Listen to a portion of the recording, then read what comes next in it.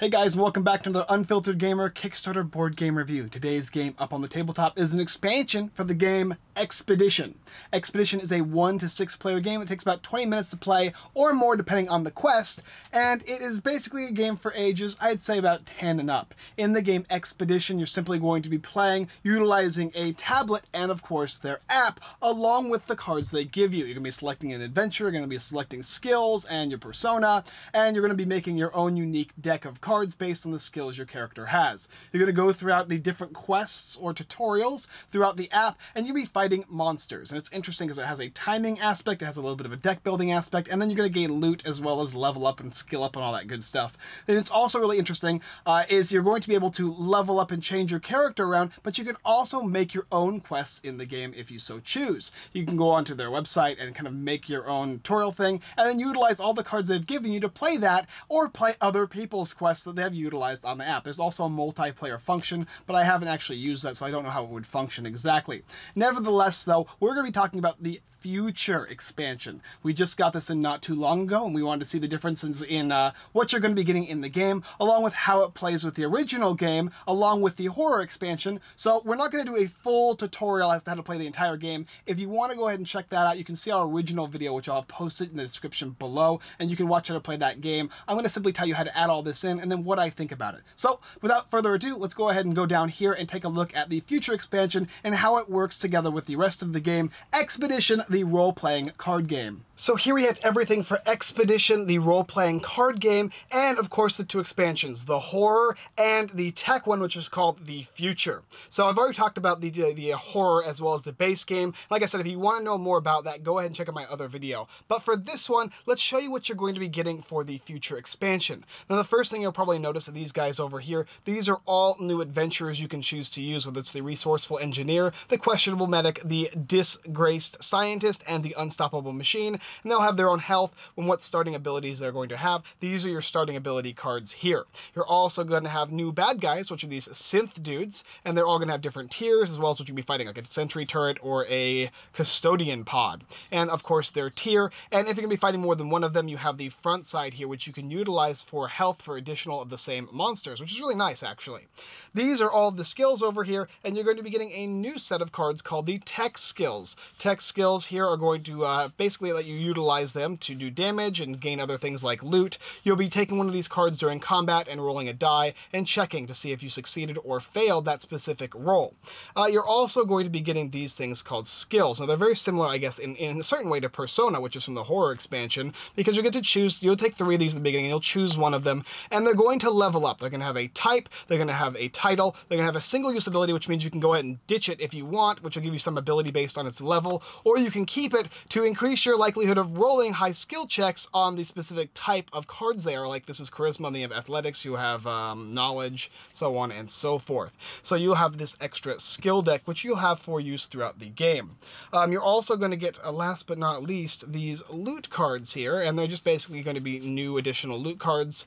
Um, however many you're going to get, I'm not exactly sure if this is the full one or not, but if it is, you're going to be one of the one of tier one, one of tier two, and a bunch of tier three loots. These guys all function similar to skills, but they're one-time uses mainly, uh, or they're going to have a timed use over here, it'll tell you. And of course, what tier they are based on whether or not you're going to get them is what the app will tell you.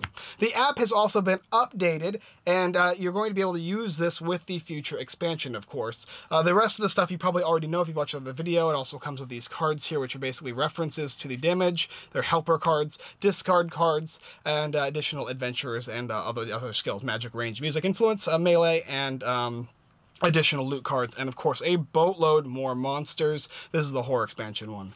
This is the Expedition role-playing card game uh, app, which is free to download, and based on the number of players you have is how many fingers you're going to use. Everybody puts their finger on this thing. So if I want three players, I would hold down three, and then afterwards it would show, it would give me a three player game as well as what you can choose. Now with the app of course there is the three different learning aspects. You've got the uh, adventuring learning for the original base game, the horror which includes the base game, and the future which includes both the horror and the base game. These are great learning tools that you'll be needing to utilize throughout the game and of course it has these extra quests and of course you can get more quests by written by the community themselves or if you so choose you can actually go ahead and make your own quest, which is really, really cool. So you want to check them out, you can go ahead and do that.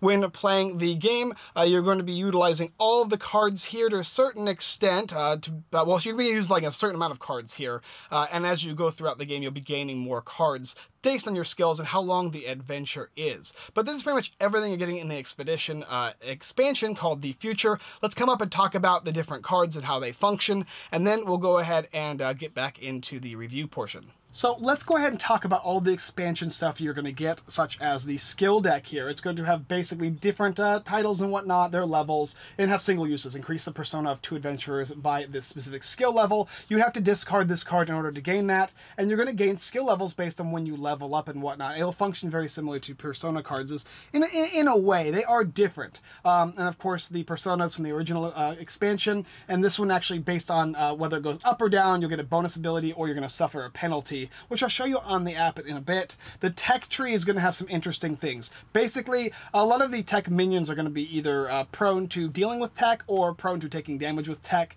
and tech is going to be generally having a lot to do with loot. For instance, this one says blood for treasure. If you roll a 7 or up, it's a target of yourself, discard a loot and heal 2 damage. If the loot was above tier 1, draw loot tier draw tier 1 uh, draw a loot one tier lower than that one, so you can kind of downgrade a loot to heal yourself, which is kind of useful.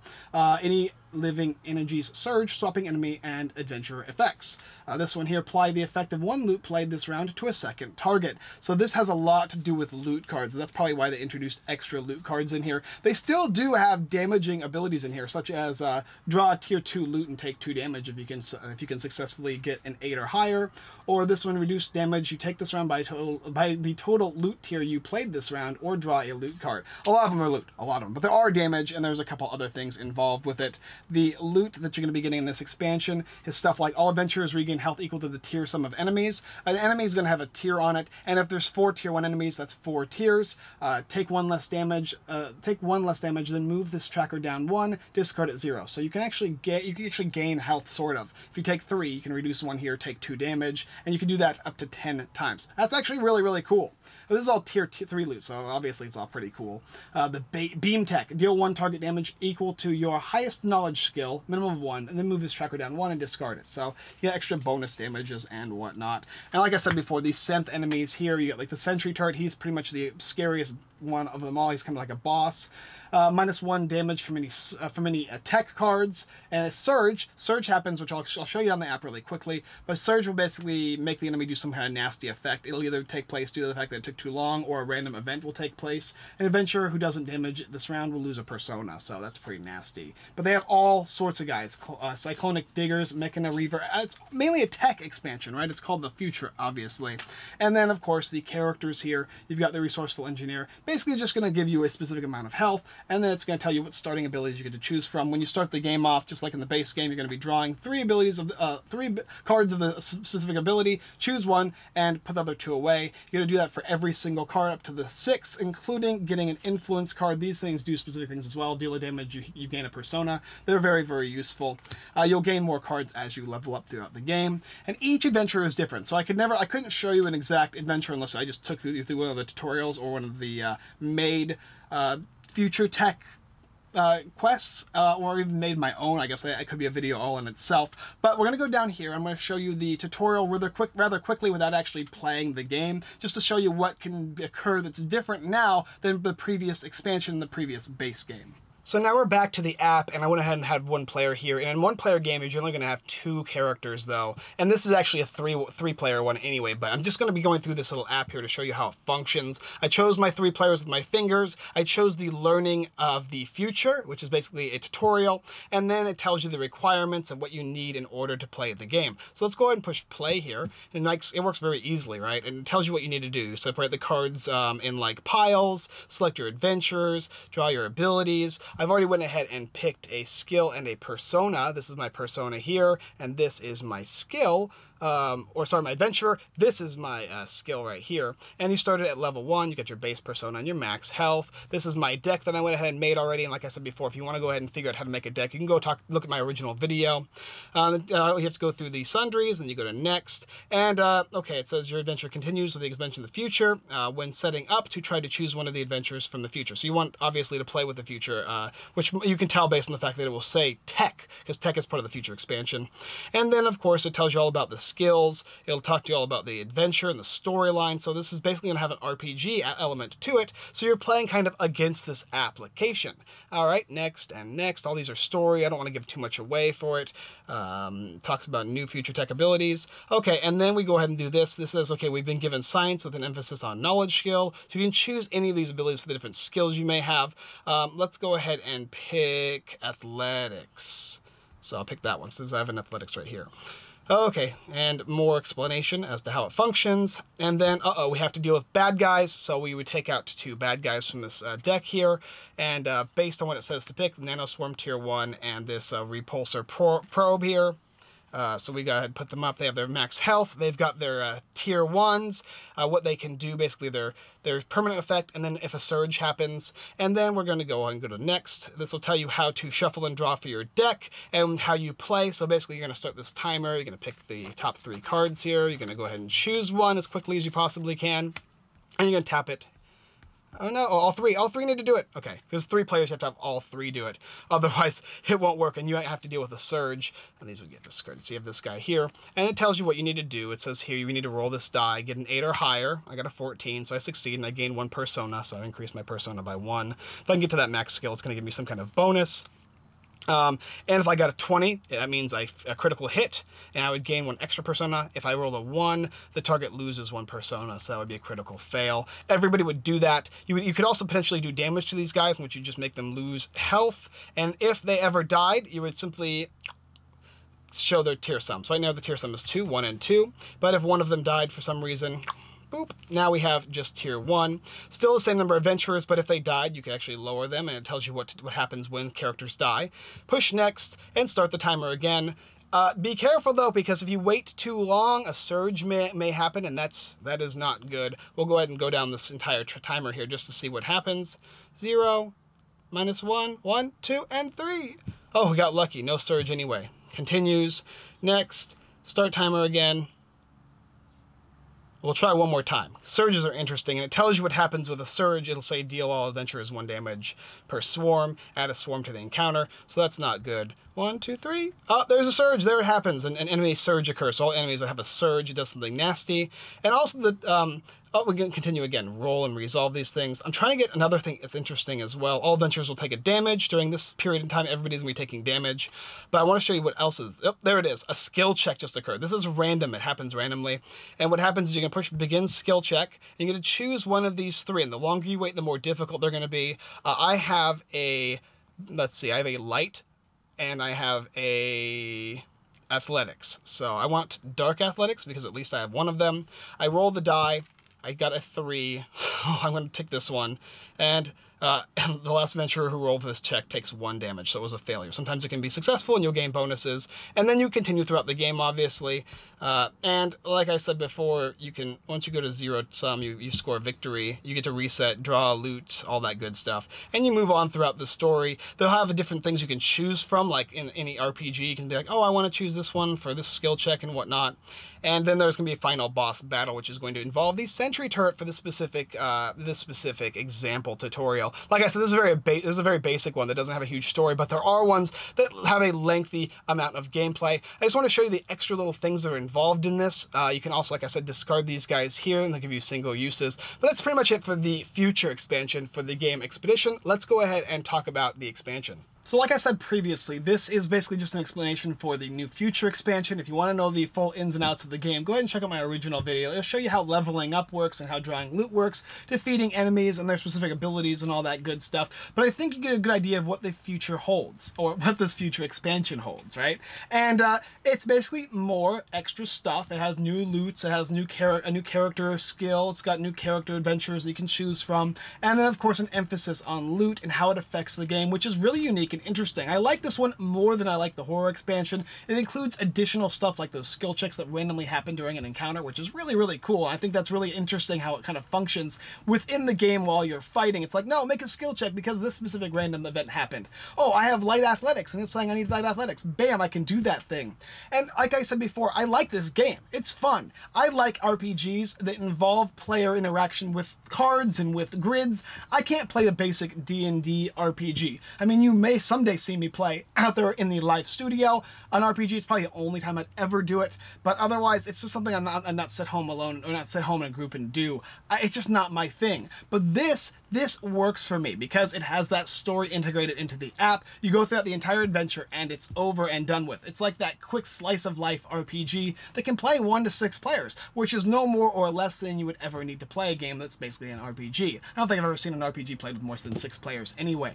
All of the cards are unique enough to where it's always going to be different, and making your own adventure is probably the crux of the uh, of how wonderful this game is. I, I love that aspect, all the extra synth monsters. I mean, you've got a lot of monsters to pick from, and not only that, but you can increase the amount of monsters of that type. So if I pick this Mecha Reaver, I can simply add three more cards to that. Now I've got four Mecha Reavers, and you get everything you need to play. It's all in this really small, simple, condensed box, and it really, really works. I like this. Like I said, the skill check was my my favorite thing about it. At, addition to the game, the tech and making loot in, in, in a, a more relevant aspect to the game and whether you want to downgrade or upgrade them and how they function within it is cool. And the skills are super cool too on their own, such as this one here, like strength, that single use ability. Do you want to use that? It's very powerful. Once you use it, it's done for. It's going to give you maybe you have a level three in strength, and that means okay, increase the number of targets your melee uh, attacks this round, or reduce the damage you take by this skills level. So you can take three three more targets with you, or you can uh, reduce your damage by three. It's awesome, but you lose that on skill checks. When you use it is very important, so it has that strategy involved in it. Then there's enough storytelling in the game to where it's vivid, vivid enough for me, but where I don't actually have to role play specifically. I think for players, like I said before, who enjoy a little bit of roleplay but not like heavy in depth are going to enjoy this, who like the addition of the tech, which of course is the application, where you're going to be able to uh, start timers and it changes, and pushing down here with all three characters, that's really cool. Everybody has to like work together with this app. It's not a single person reading and whatnot. You all read it, you all play with it. It it's fun. I really enjoyed this game. Uh, this is an a, an expansion I definitely recommend playing with it. The horror one's cool, I think that could be added as well, but this one specifically was even more uh, interesting and intriguing to me. I want to keep seeing all the things they're going to do with this app and how they they change it up. Um, I would also like to see some cool stuff involved with the app, like I want to see some pictures involved, or maybe some graphics and whatnot. Give my imagination a little bit of a rest, and you can add in like now you're fighting the dragon, the dragon pops out on the screen. I don't know. I like that tech integration. I've always enjoyed games that have tech integration, and this one specifically is a lot of fun. Even more is going to be better for me specifically. But what do you think? Realistically, I can see some hardcore uh, um, D&D players or RPGers, they're going to be like, this is not enough for us.